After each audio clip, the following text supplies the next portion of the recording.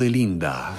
Hola, bienvenidos al mundo de Linda. Hoy les traigo una receta para que se chupen los dedos. Les voy a enseñar a hacer unas deliciosas fritas de maduro, una receta típica en Colombia para acompañar todas nuestras comidas y quedan riquísimas.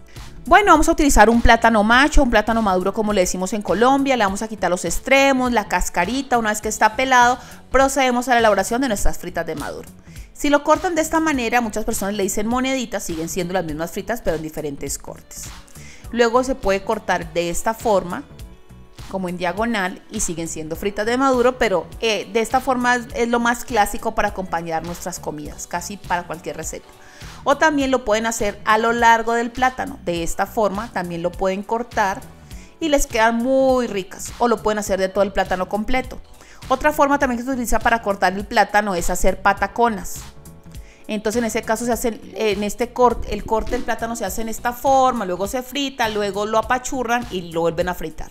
En una sartén ponemos aceite, yo pongo un granito de maíz para cuando explota, es que el aceite está caliente y así el plátano no chupa todo el aceite. En ese caso yo las estoy fritando, ustedes también las pueden asar, que es con menos aceite y a fuego bajito lo van haciendo por un lado y por el otro.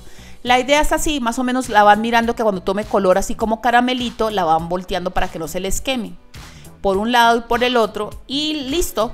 Una vez que ya lo volteamos todas, eh, la idea es que las escurran en un platico con una servilleta o un, un papel de cocina y listo. Les sirve para acompañar carne asada, pollo, estas fritas de maduro con una ensaladita, una carne, queda buenísimo. Y esa es la terminación final de mi plato y queda buenísimo para acompañar cualquier cosa. O si gustan también las pueden ponerle encima queso y gratinarlas y quedan deliciosas.